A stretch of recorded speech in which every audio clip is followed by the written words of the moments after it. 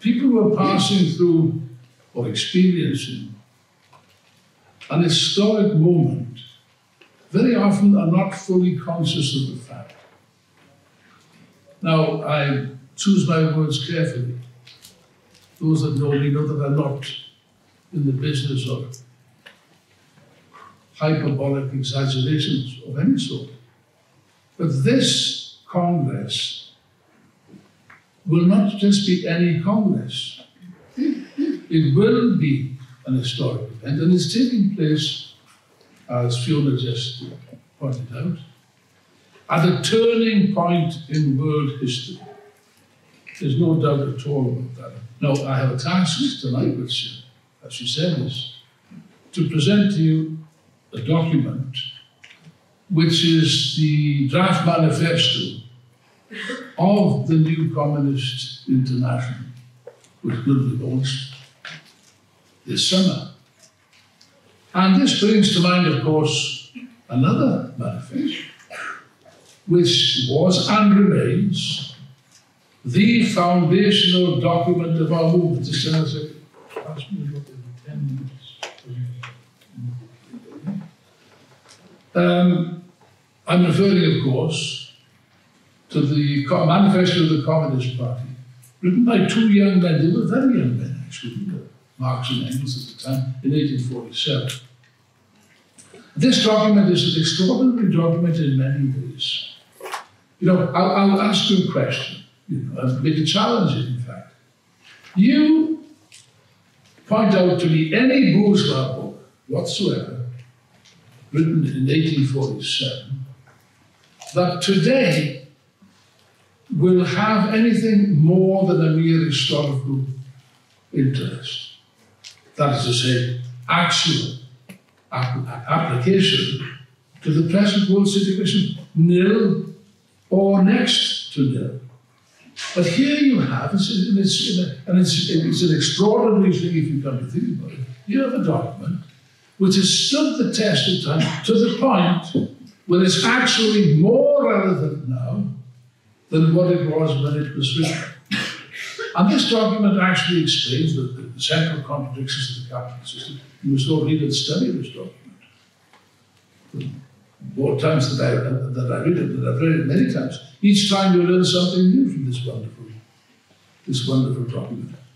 But you see, it, it, explains the contradictions of capitalism at a period, by the way, when capitalism was expanding, it was on the, on, on the rise. Now we have the opposite situation taking place.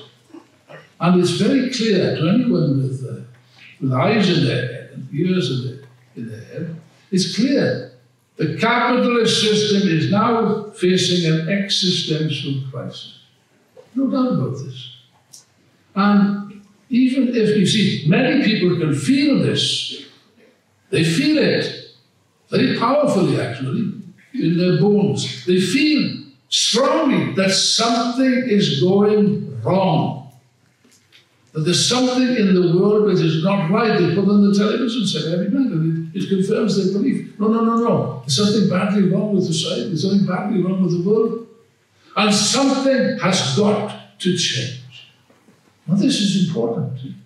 Although I hasten to add, of course, of course, they don't understand the reason. Very people outside this organization really understand the reason. But that they feel it, you better, bet, you better, you better believe it. And this, by the way, and that's something which people don't tend to understand, is a starting point. It is the embryo of a nascent revolutionary consciousness. Of course, you understand it. Hegel expressed it very well in the phenomenology of mind. He said, when we are shown, when, when we wish to see an oak tree with its mass of foliage and its powerful trunk, we are not satisfied to be shown an acorn instead, and that's quite true. An acorn is not an oak tree. Oh, or more correctly, an acorn is an oak tree in potential, but not in fact. Now that's an important distinction because we are at the beginning here of the process. And it's a mistake to uh, uh anticipate events wrongly. But this feeling, you know, when people put on the television set and see the terrible news of wars and crisis and suffering and killing, genocide and God well. It must bring to mind, you know what? Thomas know that I'm very fond of reading the Bible. yes, it's not Sunday, so maybe I won't, but that's a squeeze in one or two quotes. Who knows? Who knows? But uh, yes, but you see, I hasten to that, of course, that I am an atheist. Uh, I consist, unlike some of my Spanish colleagues, I am a Protestant atheist. the difference being that I've actually read the Bible. Catholics, in my experience, don't tend to bother. They leave it to the priest, but that's another matter. That's not do that. Fear of offending anyone else. Anyway, so, you know, in the Bible, there's the book, the, the fascinating book, the book of Revelations. Revelations of St. John, which Engels described, and the brother he was convinced he's right, is the oldest book in the New Testament. Hardly mentions Jesus Christ, by the way, in the book of Revelation. You have the four horsemen of the apocalypse. You've heard of that. And uh, these were symbols, if you like, of what? Of death, disease, pestilence, war, and destruction on a massive scale. In other words, what people thought at that time, the early Christians were firmly convinced they were in the presence symptoms which clearly indicated what? The approaching of the end of the world, and they were convinced of this. That's what, that's what powered them, because they believed in something else beyond, uh, beyond that. The day of judgment. We won't go into, into theology too much. But anyway, the end of the world. Of course, we now know that what, what, what they were experiencing was not symptoms of the end of the world, but symptoms of the approaching collapse of an existing socio-economic system. The system based on slavery was in the process of, of collapse. That's what it expressed. You had a similar situation, by the way, in the period of the collapse of feudalism, the feudal society. You had the flagellant sects who went around the village uh, flagellating themselves and so on. Some people apparently pay, pay for this, and I've never seen, never seen any in it myself, but very well. No taste. they were flagellating themselves because they believed it was the end of the world. And here again, they were not wrong. They sensed that the whole thing was collapsing, all their belief systems were collapsing. It was, it was the end of the feudal system that was approaching. And now, yes, we have something remarkably similar. And even now, I think there's quite a few people who think it's the end, the end of the world has come. No doubt about it. No, no. That's, by the way, part of the, the, the reason for the explosion of irrationality.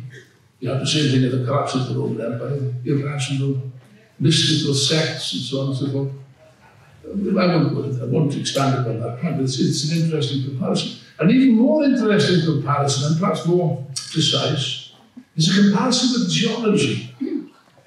If you study geology, you see that the Earth's surface is formed and shaped and created by the, the movement, the subterranean movement of the tectonic plates, which are in constant motion. But this is very slow motion, glacially slow. You can't, it's imperceptible, you can't see it. You don't know it's taking place, but it is taking place beneath the surface of apparent calm, apparent stasis is what they call it. This is what the geologists refer to as stasis. And this stasis can last for long, long periods, long periods. But it appears that nothing is changing. The continents are firm, they're stable, they're unchanging, they never will change, they always have been like this, they always will be like this. Not so. Because sooner or later, these subterranean, invisible processes involving extreme temperatures and extreme pressures, which are invisible, I repeat, to the human eye. Nobody can see this. It's completely bent, beyond our, our, we can't even approach it. But at a certain point, quantity becomes transformed into quality. These infinitely small changes suddenly, without warning, reach a critical point where the tectonic plates clash and you have the most violent phenomena known to humankind explosions, volcanic eruptions, earthquakes. Tremendous forces are unleashed, which were invisible. Now you actually have, and I insist upon this, an identical process exists in human society and human history. This is dialectics, by the way. This is our main weapon of understanding. This is what sets us apart from all the idiots and the so-called experts at the universities, the bourgeois universities, with, with letters after their name. God knows what the letters stand for. Don't, don't stand for any, anything intelligent, that's for sure. But you know, you have this, uh, this, this marvelous weapon of analysis, which enables the communists, the Marxists to understand the real processes taking place, which are invisible to the majority of people, not understood. That's why the Russian revolutionary democrat Herzen described Hegel's dialectic actually with a brilliant phrase. He said, dialectics, he said, is the algebra of revolution. What a wonderful expression, the algebra of revolution. And it's incumbent on all of us to study dialectics, to study Marxist philosophy. It's the only way that you can really understand what's taking place. And therefore, if you understand what's taking place, you're able to arm yourself to intervene effectively. And that's the name, that's the name of the game, as we shall, as we, as we shall see. Now, none of this is understood by the so-called strategists of capital. I've never seen such confusion, such bankruptcy, such stupidity. I mean, if, if you take all the politicians in the world today, Joe Biden, God preserve us. Uncle Joe, genocide Joe. Jesus H. Joe Biden. Or, uh, you saw, you saw, it's a can't remember his name, was Rishi Sunak, that's right. Sunak. The man is a complete idiot. Macron is even bigger in, in, in England. He's now sounding off about the need to send troops to the Ukraine to, to win what is, by the way, an unwinnable war. They've lost the war in the for Christ's sake. Anyone with the slightest knowledge knows that they've lost. Russia eh? has won the war. That they will, run, they've already won the war. Their advance will be unstoppable. And even this $61 billion thing but the government will, will, will solve that absolutely zero. No effect, except to prolong the, the agony perhaps for a few months. But as far as the outcome is concerned, the outcome is already determined. And already they're panicking. And Macron is the first one to panic. He's an expert at panicking. He must, he must have a degree in it. You know? but he's uh, actually demanding that they send, NATO sends troops to the Ukraine. If they send troops to the Ukraine, they'll be wiped out, that's all. That'll be very popular to the electors anyway. But you see, the question is this. These leaders are positively the most inept, the most incompetent, perhaps in the whole of history. I'm staggered, I'm staggered at the degree of ineptitude. Although I will say this, in their defense, if you like, even if you had the most capable, the most intelligent, the most far-sighted politicians in charge, you couldn't fundamentally alter the, uh, the outcome. It could not. The reason being, what the, none of these idiots understand, they're in an impossible position. They, they, they're presented with an insoluble problem. They can't solve it because what we're talking about here is the fact, the fundamental fact, that the capitalist system, after a long time, when it achieved miracles actually, let's be grateful that the capitalist system it did uh, produced tremendous results. And that's important. Although this was based on slavery, oppression, by the way, I'm a bit tired of this moralistic twaddle.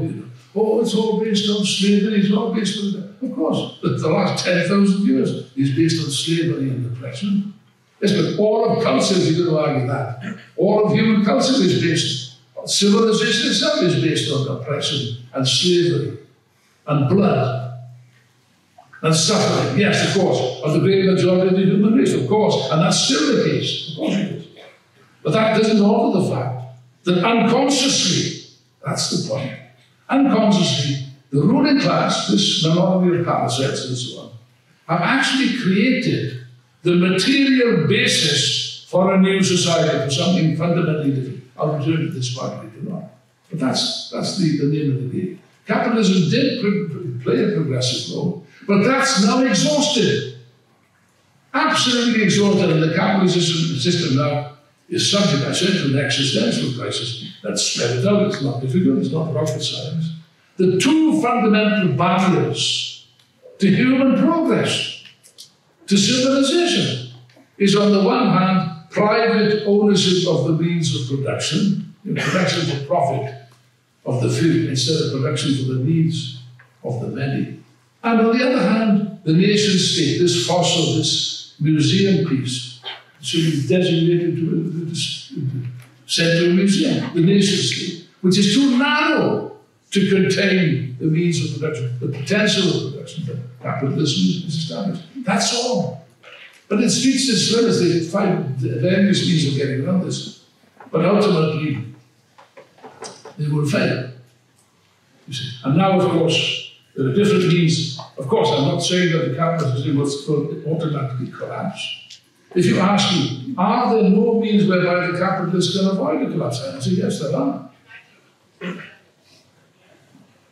There are certain tools which can be used to get out of a crisis or to avoid a crisis or to reduce the effects of a crisis for a time, for a temporary period of time, but only at the cost of producing new contradictions. That's the problem. One of these things is what's known, what, it's deficit, what Keynes called deficit finance. You see this recently, particularly at the time of the, uh, after the 2008 collapse. That was serious. They, they, were really threatened with the collapse in 2008. And let's, let's, let's spell it out. According to the economists, for I don't know how long, the official economists, these guys with strings on their okay? Uh, the state, this is, this is the arc of the country, this is the fundamental, the sum, total, sum total of all knowledge. The state has no role to play in production, in the economy. It must not, must not play any role. Look, look, look, what happened in Russia, they said. What a, we, that's a separate discussion. They don't, they, they don't understand what happened in Russia. It's a separate issue. No, the state plays no. And yet, and yet, and yet, when the economy was faced with collapse in 2008, when the banks were faced with collapse, what did they do?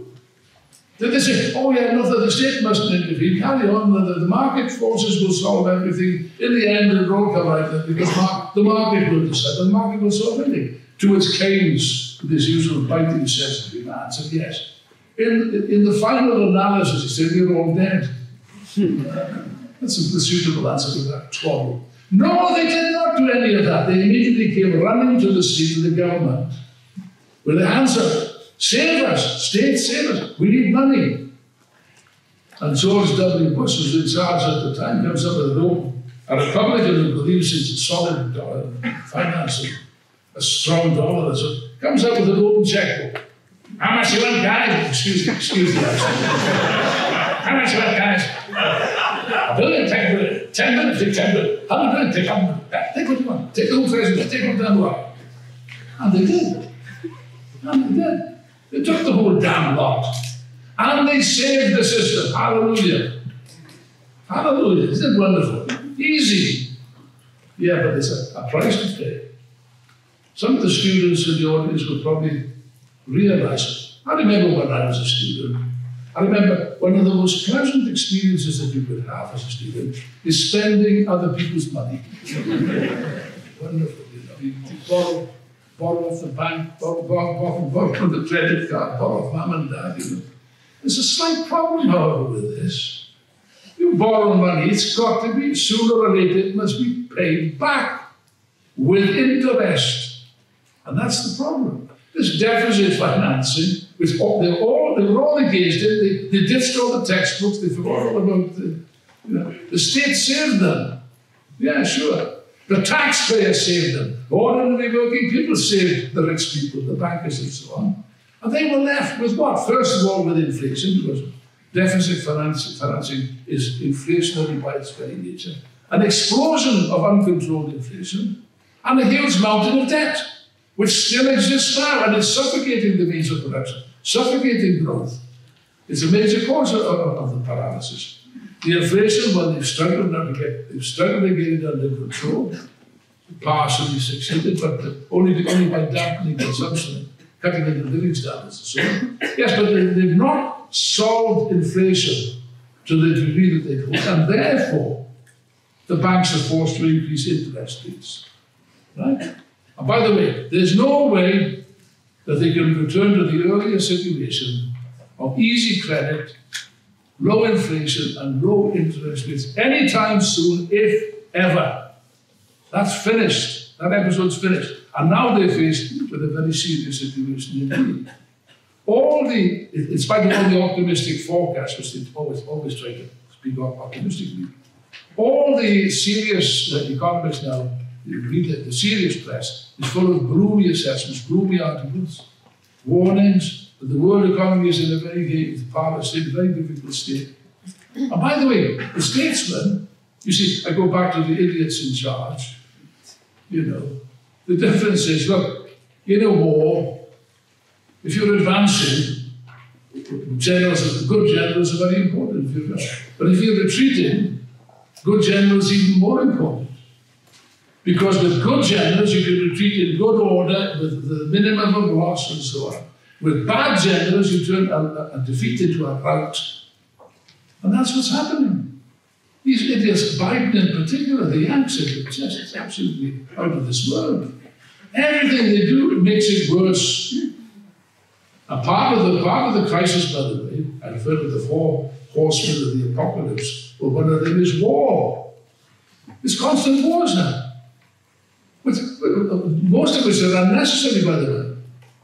Biden, the Americans, forced, rationalized the Ukraine to enter into a, a, a, a meaningless war with Russia. That's what they, they pushed into it. Was quite unnecessary. They could have found a solution. They could have agreed that the Ukraine should join NATO and so on, a couple of other things. That's all. No, no, no, no, no, no, no. Gotta take it, gotta take on Putin. Problem, problem is Putin. It sounds a bit like Christmas pudding, Funny. Biden is so obsessed, he can't even pronounce Putin's name without, without spitting. He's, he's upset. I mean, I mean it seriously. The man is upset. Pushed into this economy with the view, and they were convinced of this, they were going to defeat the Russians using, not, themselves, of course, the poor Ukrainians as cannon fodder. They were going to defeat Russia.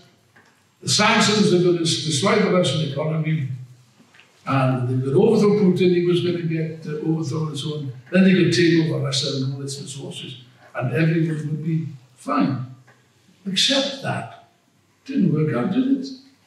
Didn't work out at all. The opposite! Have they achieved any one of these gains? No, not one. Militarily, they, they, they defeated, they finished all the wonder weapons of the world. Well, a lot of bollocks, by the way. They, the Russians have put these weapons on display now in, uh, in a park in Moscow for people to study these, miracle weapons. The Abrams tank and so on and so forth. The Leopard tank from Germany uses. You know. Uh, militarily, they did be defeated. The sanctions have been a spectacular failure. In fact, Russia, the, even the IMF now and the World Bank is forced to say the Russian economy this year is probably the strongest in the world, the strongest results. So what was it all about? The sanctions have failed. The Russian economy is stronger now than what it was before. Therefore, they failed, except in one thing. They were also attempting to strengthen their stranglehold on Europe.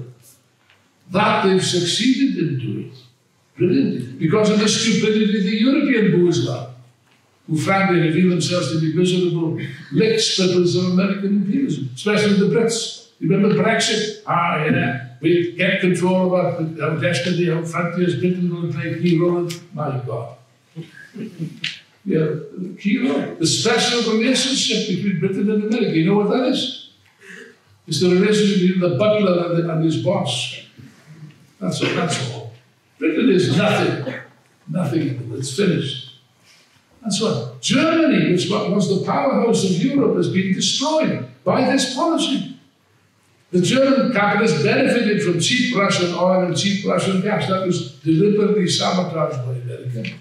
It was the Americans that destroyed the Nord Stream, by the way. Don't be under any illusions. Now, they're not prepared to investigate that. It's, they've closed the investigation down. Because it would definitely saw the Yanks were involved. They wanted to cut off Germany's relationship with Russia, and they did just that. But all of this has it has not affected Russia in any adverse sense. What it has done is to make, the world economic crisis even more serious than what it otherwise would have been. More inflation because, of the shortage of oil, coming off of Russia from world markets and so on. All the, the sanctions have led to colossal increase in prices, which every worker is now expressing. Of course, they're plowing money into Ukraine. The Americans and the Brits, Lord Cameron and Rishi Sunak, they got no money for pensions or students or education. They got plenty of money to bring in a few billion into the Ukraine. That's all. To keep this senseless war going. That's the state of affairs. And therefore, war also enters into this, into this downward spiral. The world economy now faces a, a perfect storm of factors, both economic and political and military, which is, it will tend to, to create this downward, downward spiral, which if it's not controlled, and it isn't being controlled, at a certain stage it will manifest itself in a colossal slump. Economic recession is on the cards, they're talking about that now. The Gaza situation is the same. That's having an effect, political and economic. I'll come back to that in a moment. You see, when we're dealing with the question of war, most people on the left, the so-called left, they treat it uh, purely from a moral standpoint. Oh, it's, wrong to kill people and against violence and against war. Yeah, okay, carry on, carry on. As if the whole of human history was not characterized by violence and class violence and so on, and war. Of course, you cannot treat the, you can't treat war from a moralistic standpoint. It's not nice. People get killed and so on. But one has to, as Marxists, as communists, we have to understand what the motive force behind war is, what the interests of the, of the individual powers are. And you see, whether you like it or not, war has got a habit, look at history, of, if sooner it, it brings about revolutionary consequences. It starts off as a counter-revolution, that's true. But at a certain stage, people begin to think. And people think very carefully when it's a question of life and death. You better believe it. And therefore, it has an effect. It's having an effect. It's having an effect. Now, be just an, an important point. One of the, more, the major aspects of the Communist Party, the original Communist Manifesto, is that uh, communism is, is international. Communism is international and it's nothing. And why is this? Why are we internationalists? It's not the same as the, the, the liberal bourgeois, yeah, petty bourgeois kids, you know. The internationalists, for sentimental reasons, friends of the United Nations, you know, they like foreigners. You know, well, we like some foreigners. one or two, one or two of my friends are foreigners. English. but uh, but uh, we, we like some foreigners, we're not so keen on others. But that's nothing to do with it. Our internationalism, proletarian internationalism, is based on one thing, and that is the fact that capitalism evolves as a world system, as an international system, and therefore, when there's a crisis like the pension crisis, it manifests itself as a world crisis in every sense of the word, not, not just economic, but military. See, the, the wars are taking place, they're not they're not an accident. None of these wars are an accident, and so on and so forth. Okay, and so, yes, it's barbarous, it's terrible.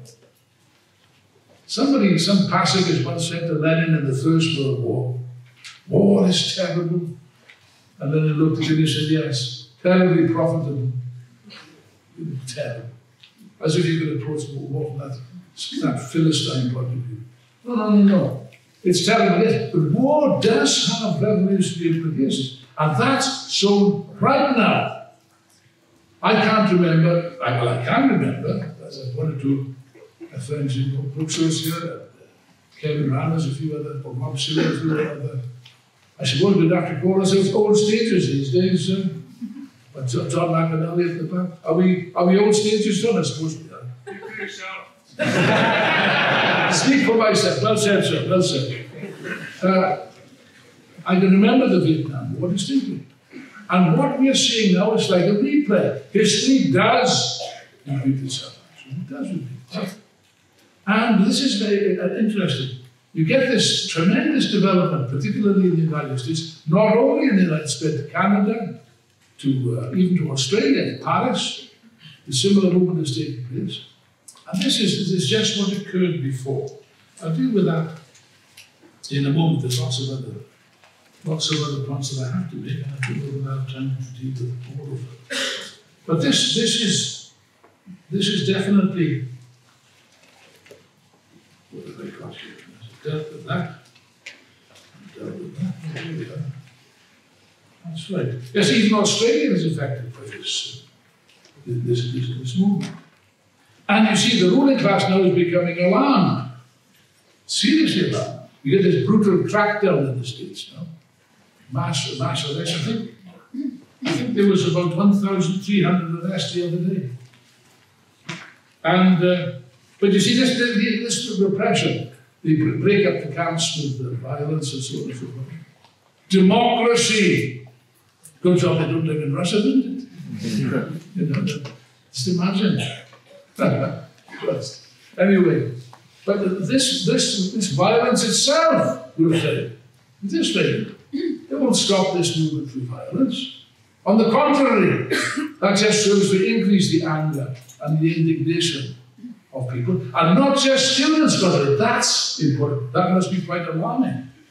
There's clear indication now that, uh, by the way, incidentally, the Americans have lost control of the situation in the Middle East.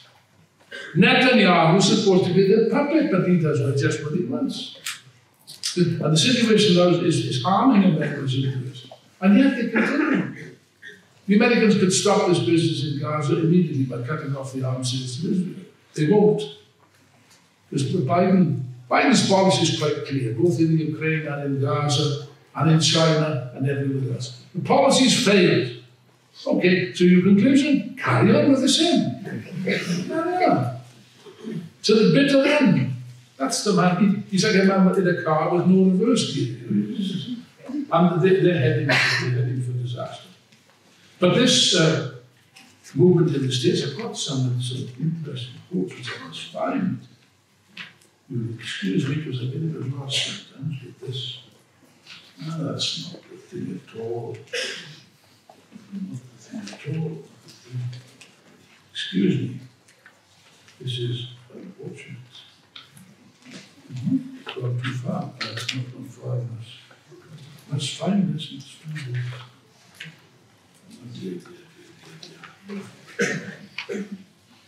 Places of we come to that. we will come to that, never fear. Until not left, just a bit far. Far ahead. Vietnam War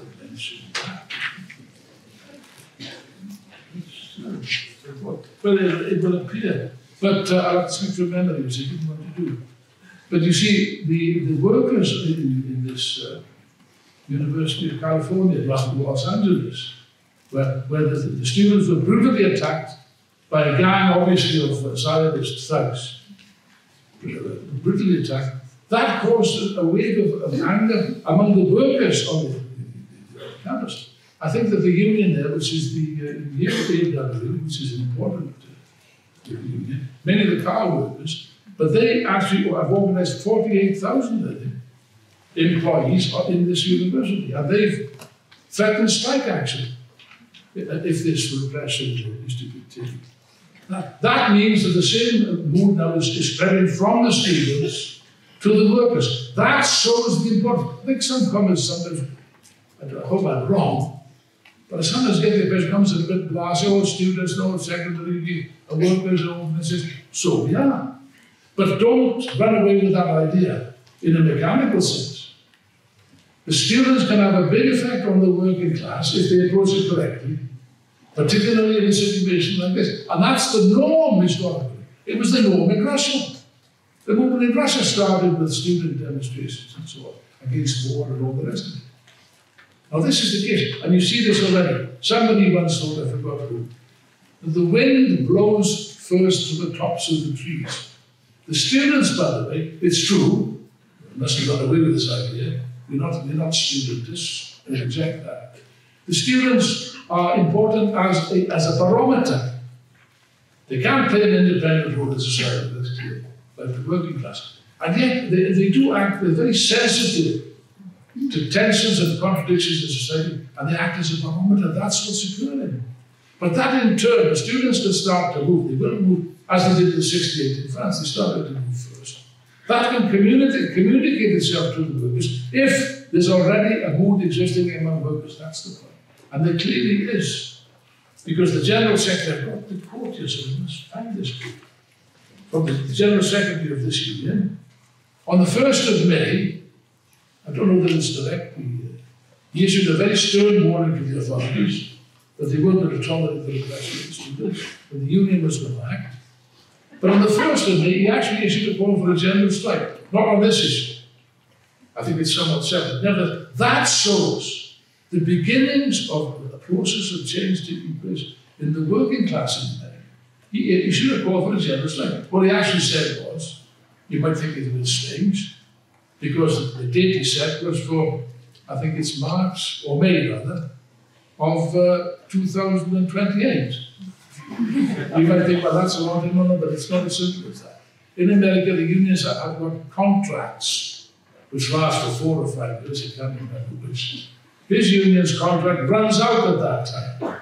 And what he's saying is, I want, he made an appeal, I appeal to all of the unions to unite your contracts with our contract such that at this particular day we can all strike together and show the might of the working class. He said, in a general strike, he used that language. This is not Petrograd in 1970. I'm talking about, about the United States of America right now. Not a small union, but a very important workers' union. And therefore, you see there what? You see there the beginnings of a change. Okay? I don't want to exaggerate this, but nevertheless, it's of extreme importance. It's what Trotsky referred to in a brilliant phrase he referred to it as the, uh, as the molecular process of socialist revolution. This, the way, the events in have, said, you know this, the effect of, of, of uh, revolutionizing whole layers of youth and bringing it into, into action. And they, they, are drawing more advanced conclusions, not just in Europe and in America in Australia, but in the Middle East and that's really what is alarming, I think, the Biden and the Americans. It's certainly alarming. Because the reactionary Arab regimes, like Jordan, scandalously participated in helping the Israelis to resist the Iranian uh, missiles and so on, but regimes like that, and uh, other, the Gulf states and so on, faced now with mass, massive demonstrations. The, the, the, if you think that the effect on the television screens of the slaughter of men, women, and children by the Israelis just affects people in Europe and America, you're wrong. The biggest effect is in the Middle East. There must be absolute, well, there is, an absolute mood of fury among the masses of the Arabs who are demonstrating on the streets. These demonstrations are getting more and more violent, more and more furious such that these regimes feel, feel the ground shaking, shaking under their feet. And it is quite possible. I don't know. Depends. Depends if this Gaza business continues. But it looks if Netanyahu is, is, determined to continue. Biden is doing his best to backpedal, to try to get some kind of a ceasefire. And Netanyahu is telling carry on with the ceasefire. We're going to attack Rafah anyway. Imagine. You know, puppets are not supposed to that. That also shows where the limits of American imperialism. But he's determined, he wants to destroy Hamas altogether. He will not destroy Hamas. That's beyond his capabilities, he can't do it.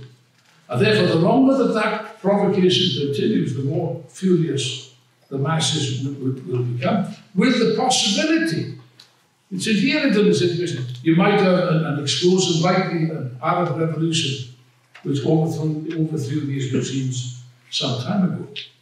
Now, you see, you have all of this taking place on a world scale.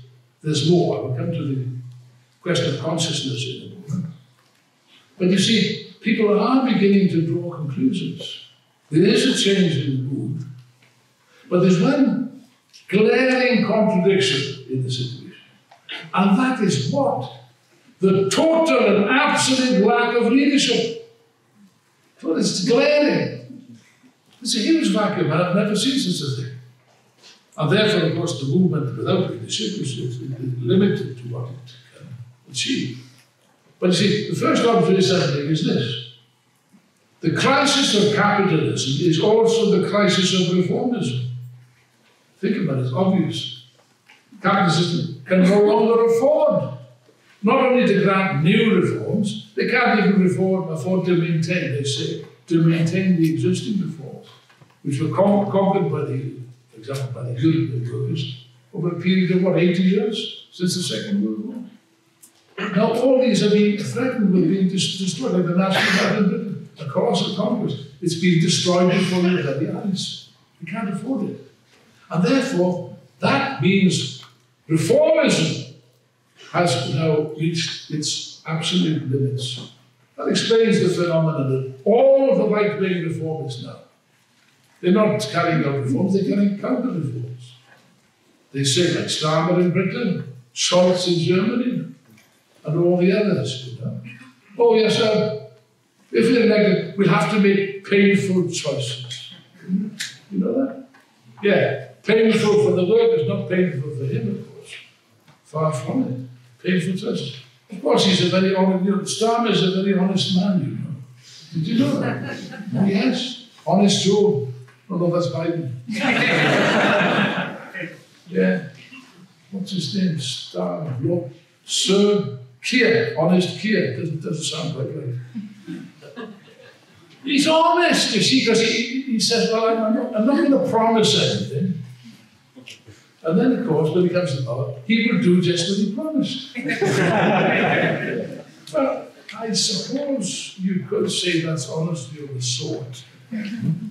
But it's not the kind of thing that the people do.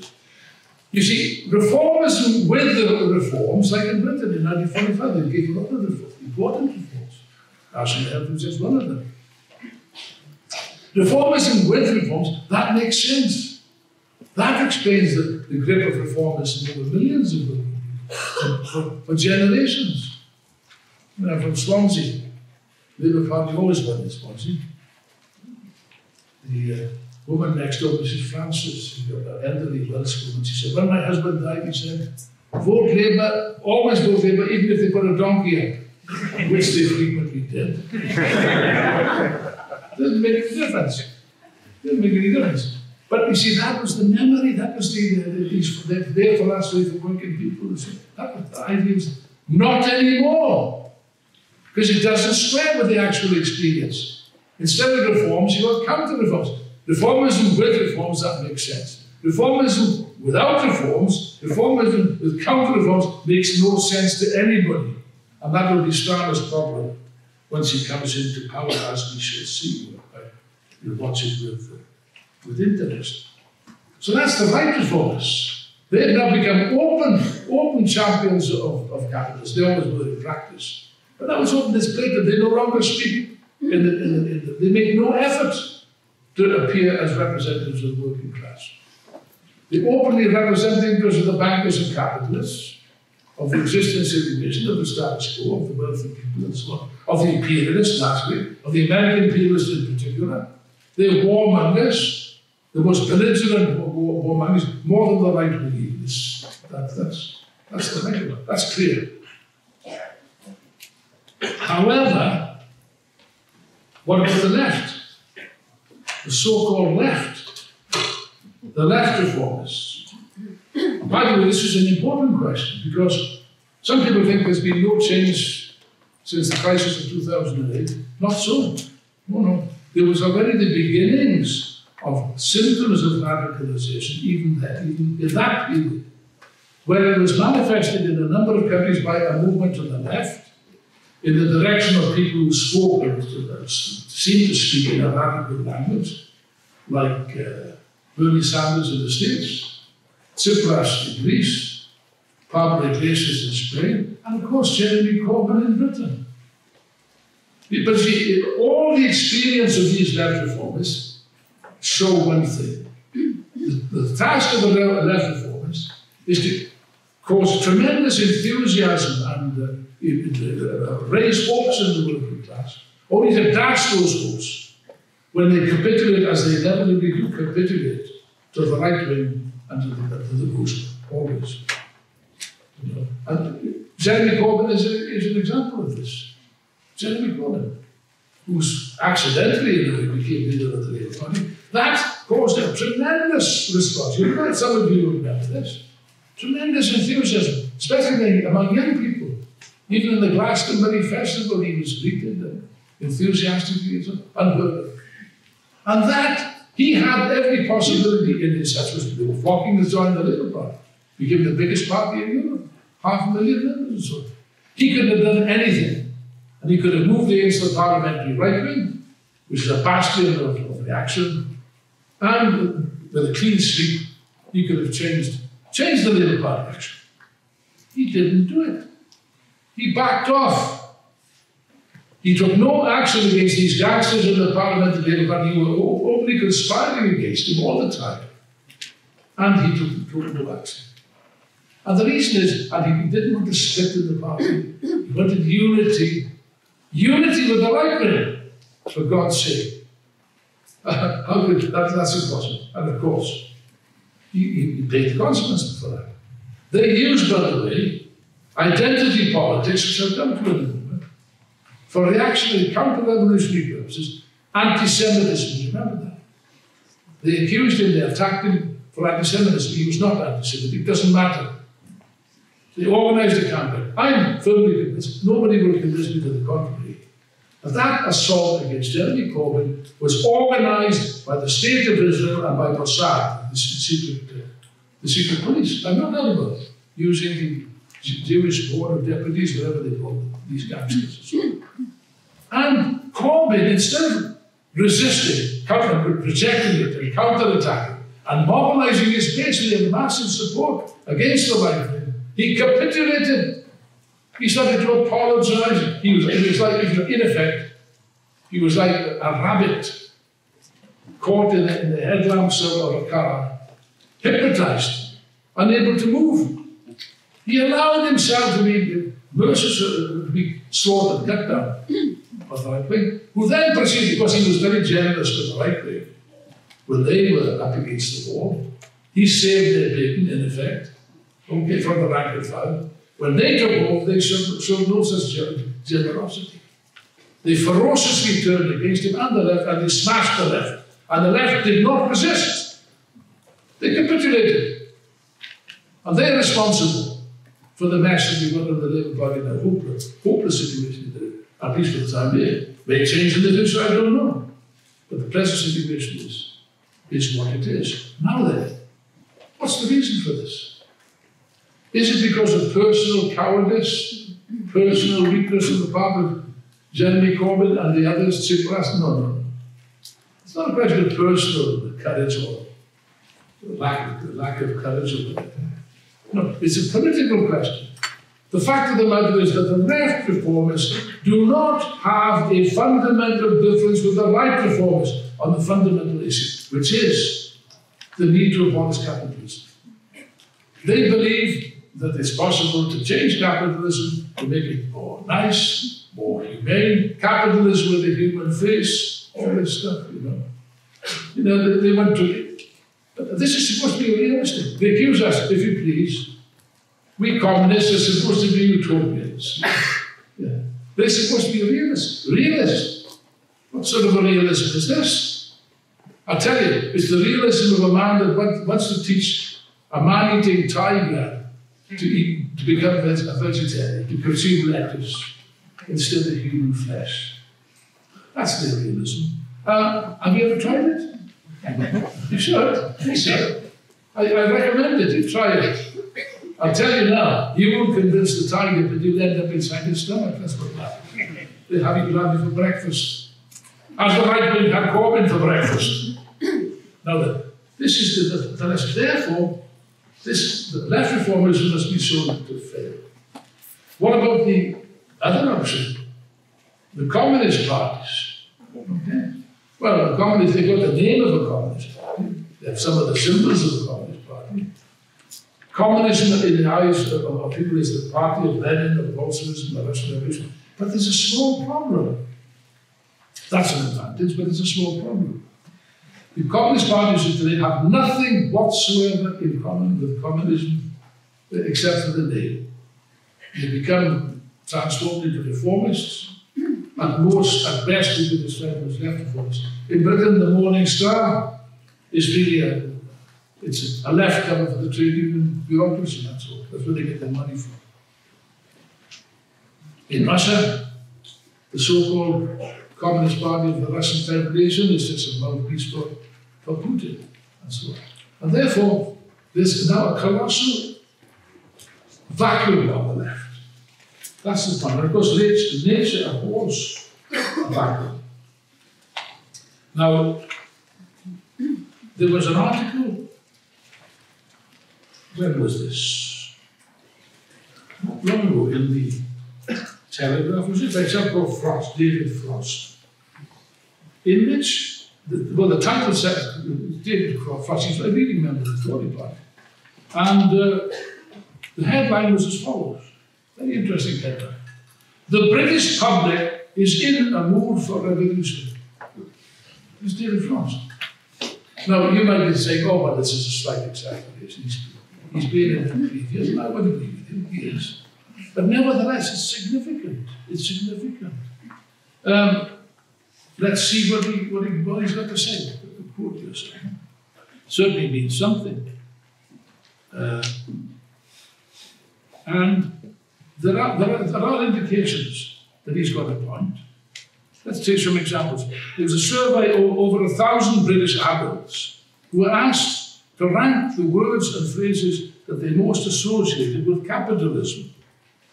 The top results were greed, 73%, constant pressure to achieve, 70%, and corruption, 69%. 42% of the, respondents agreed with the phrase, capitalism is dominated by the rich and they set the political agenda. This is a, a, an official opinion poll of the bourgeois writers. And therefore, there's another example. YouGov, that's another polling outfit, reports that 73% of the people have a negative view of politics in Britain, and only 7% are positive. That's the point. Now, you see, you could think, well, what that reflects is apathy. Widespread apathy. Not so, not so, not so. Frost says, it's quite a sharp bourgeois, I quote, the truth is that most voters pay almost no attention to politics, apart from a few days at, at, at, uh, around elections. I don't blame them, he says. It's absolutely rational and reasonable to do this he says. But it doesn't, it doesn't happen out of lack of interest. He's smart. It happens because people have switched off from the, from the Westminster Games. Okay? And he, he concludes this isn't apathy, it's a total loss of confidence in the system. There's another chapter, closer goes James uh, Frayne, who writes, I cannot remember a more disillusioned and angry electorate. And David Frost sums up as follows. He draws the following conclusion, very interesting. This mood is ignored at our peril. He's warning the ruling class. This means something. For Christ's sake, sit up and pay attention to what's occurring, really, in society. This mood is ignored at our peril, he said. I worry, he said, I worry that, that too many politicians of all parties utterly complacent about the implications. Now that's really interesting. If look at a bourgeois like, like, like this man, the right things, how come the so-called left and the so-called communists are incapable of understanding it? Because none of them, none of them have understood. Now you see what the fact of the matter is. It often happens that the serious bourgeois often come to the same conclusions or similar conclusions as the communists, of course, with a different class point of view. But therefore, you see, what this brings us to the point, it brings us to the central question. Why are we advancing quite a bold, audacious, some people might say too audacious, step of organizing a revolutionary communist party in Britain under, as part of a revolutionary international? Why? And why now? Why now? Now, we I've already said, I hope I've said a few, few words, I haven't had time to develop it. But it should be clear, this is a decisive moment of change in world history. And certain things, certain things follow from that. And of course, the, the people are beginning to draw conclusions. Now, by the way, in a situation like this, I go back to theology, you can have slow quantitative change over a period.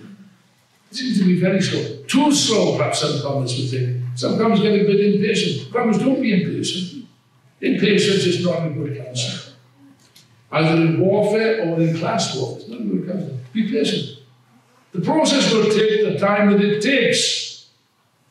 Some people ask me, hey, but when, when is going to be a revolution? When is the world class going to move on? I answer that. To that question, I can give you a precise answer. I'll tell you precisely when the workers will move in Britain.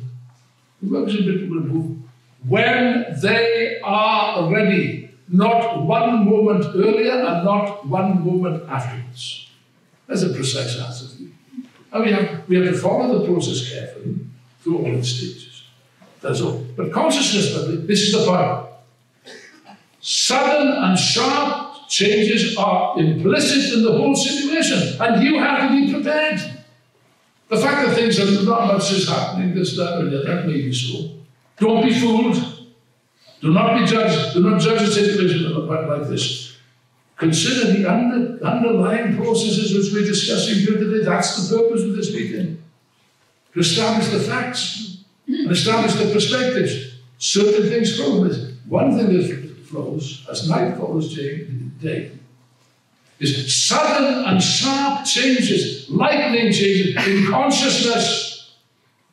People can, their ideas can become transformed in a matter of days or hours. It happens in every strike, by the way. Any worker that's lived, lived with that. And we must be prepared. That's the point I'm coming to. Now, there are indications. I don't want to go all that. I've got the quotes down from this chap. I must have a few more minutes to quote this common chairperson, because this is important. Yeah, this is quote of a chap called um, Shawn Fain. He's the president of the powerful United Auto Workers Union. He says the following. The UAW will never support the mass arrest or intimidation of those who are exercising their rights to protest, strike, or speak, uh, speak out against injustice.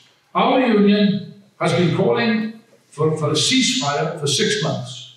This, this war was wrong, and this response against, against students and academic workers, many of them uh, UAW members, is, was also wrong. We call on, on the powers that be to release the students and employees who have been arrested. And if you can't take if you can't take the outcry, stop supporting the war. You see. And on the first of May, this is what he says. This, this I must quote actual words. Excuse me, Mr. Field, I must quote the words. We invite other unions to align their contract uh, exp exp expiration dates to our own. We want a general strike.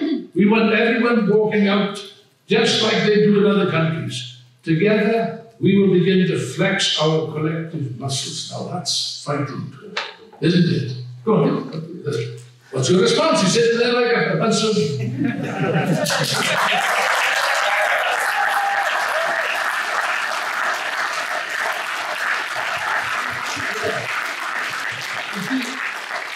this is not just about Palestine, it's not just about Gaza. It's, it's a focal point, it's a catalyst which, which brings together the accumulated discontent, profound discontent that exists. Even the vote for Trump, by the way, you know, it's, it's a mixed, mixed bag of those. But a sizable millions of workers in the States who disgusted with the Democrats, disgusted with, with the Biden, will vote for Trump. But don't tell me that no fascism reactions, because I don't believe it. It's just simply not the case. It's an expression of discontent. And the chairman, chairman, chairman is just expressing a vote of discontent. In the speaker, which he will, of course, ignore. Temporarily, that is. You see, now, this is this, we come to this habit of that. There's already elements of a change, an important change of consciousness among the youth. And here's something, here's the figures. Uh, the Fraser Institute asked, it was a poll of 18 to 34 year olds, as to whether they regard communism as the ideal economic system.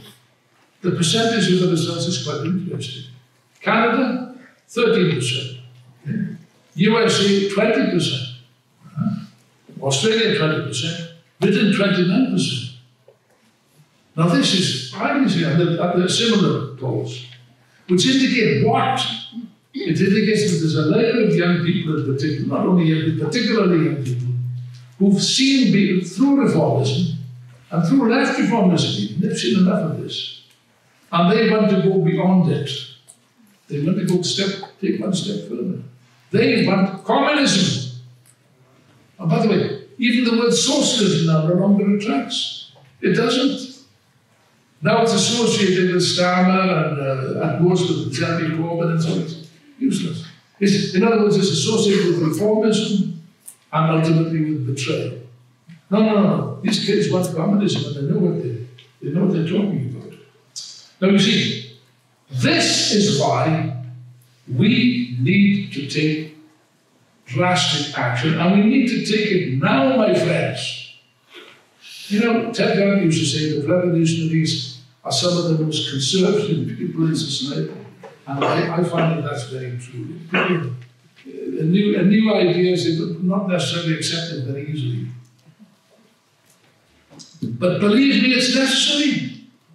And this is not the product. Some people say, oh no, you're being, Alan, aren't you being a bit impatient? And this, that, and that, not about it. I'm not that impatient sort of person. Not, not usually anyway. Unless my dinner's late, then I But in any case, I don't lose this to, to cost. I hope you're not recording this, but uh, no, no, it's not a question of impatience. What, what Alan wants don't you see? This flows as night follows day, inevitably from a whole analysis of the situation. It flows from the situation itself. There's nothing, nothing arbitrary about it at all. And these, when you, when you say these, these figures have been 20% in the USA, so you're talking about millions of young people who consider themselves to be communists.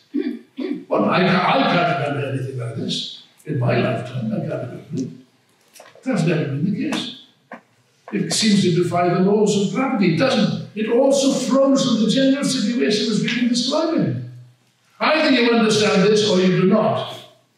If you understand it, then if you say A, then please, you've got to say B, C, and D. You see, I started by mentioning the Communist Manifesto, a brilliant document. I hope our present document that we produce is, I wouldn't say equally as good, I hope it's uh, at least serviceable. The Communists agree with the ideas it, it, it expresses. Yes, but you know, ideas are important, of course. But ideas in and of themselves are not enough. They need to be concretized in organizational forms.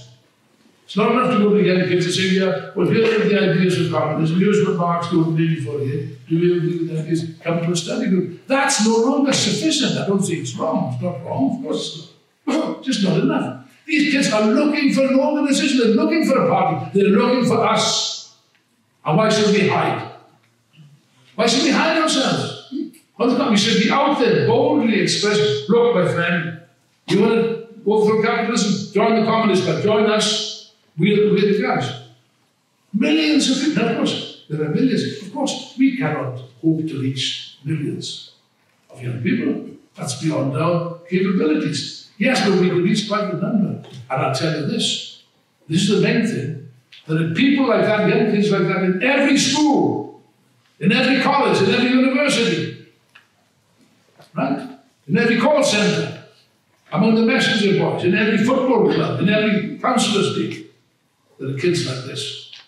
They come to you in the street. Oh, yeah, I'm a communist. Then. You've had the experience, have you not? Yes or no? Yes. Yes. Didn't hear you. Yes or no? Yes. I still didn't you. Yes or no? Yes. It's more like it. Of course. He said, and they look, they relieved when they meet us. You know, they were they, oh, come oh, and find a party. Oh, no, no, come sit the oh, no, I know, I'd rather go to a study group for the day. See, see if you can, see if you can, you don't have to come come to the city, you're ready communism. Yeah, what do you do on that? There's a dangerous here to us. Strike a warning signal. It, will be easy to recruit these people. By the way, you've only got to recruit one, two, or three kids in a school. They form a nucleus. Let them get on with it. They will build. They'll soon build dozens and so on. They, they, they, that's, that's how you win a larger number. That's a step towards winning the masses. First, you win the minority. Then you train them. Now, that's the other point. I have heard a little bird told me, I hope this little bird was, was not telling the truth, but I've been seriously annoyed. And you don't want to make me seriously annoyed. You know, I'm really quite a nice chap, basically, but some things tend to annoy me. You know. No, uh, less theory no, no need for theory, that's the old method of the socialist appeal, we're not that anymore. Oh, just, just, just uh, recruited as communism. What? That is the biggest possible mistake. I go further. It's a crime. Anyone foolish enough to put that like this is, is talking talking to their ass. Excuse my excuse my anatomy lesson. Jesus Christ. No! You took these kids, yes, sure, it'd be easy enough. That's, but that's only the first step. Then you've got to train them. You've got to train them. Educate them thoroughly. And that's, that's, our, uh, that's our task. The, the, task of political education and theory is not less important now. It's a thousand times more important now. By the way, these kids have got a thirst for theory. Make no mistake about it. They really have a thirst. They absorb the, the, the, the There's up to us to give the ideas. Just one final point, a skip over this, shouldn't? Identity politics. This is the, this is the disaster of the left. Absolute disaster. They've all fallen for this nonsense, this poison. It is poison, by the way. It is poison. The idea that, oh, well, there's degrees of oppression, and this, and there's that, and there's women, and there's, uh, there's gays, and there's trans, and there's black, and the number's infinite. This is divisive, stupid, and wrong. Come, let's be, let's be clear about this. Very clear. We are communists. Okay, and therefore we stand on one idea alone, a class position. Not interested if you're black, white, pink, green, or anything else, or gay, or anything you can imagine. All I'm interested in, do you take the position of the working class, yes or no? That's all I'm interested in. And all the rest of the nonsense can stay outside. It must stay outside. The kind of poison that introduces divisions. and no. The ruling class, for centuries, always has played the card of divide and rule. They're expert at it. And this is another example. It's not an accident that the, the right wing and the bureaucrats use this poison. You know, against the left, actually. They, they used it very effectively against Corbyn. They finished it because he made concessions. I'll say this. We stand on a class basis. That's all. Right? There is no room in our ranks read my lips. There's no room in our ranks for anybody that makes the slightest concession to the poison of, of so-called identity politics. Our flag is the red flag of socialist revolution. Our cause is, is the cause of socialist And this, I'll finish on this. Marx and Engels, for the first time, established the scientific basis for communism, whereas the utopians in the past thought that communism was a good idea, but it was just a good idea. And it could have been introduced a hundred years ago or a thousand years ago. Not so. Marx and Engels explained. That communism, real communism, has a material base.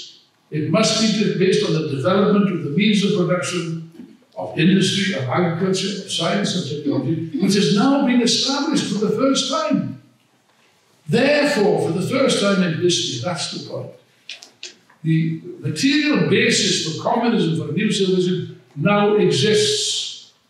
There's nothing utopian about it. All that is required is to free the productive forces which have been paralyzed from the dead hand of so-called free market economics, of private ownership, the stranglehold of the nation state, hmm, and established a genuine socialist economy, a planned economy, harmoniously planned in the interest of production for the many and not for the profits of the few. And on that basis, I, will finish on this, but it is important to because sometimes I, I think I was a bit too narrow in the way they approach this whole wonderful idea Marxism and communism.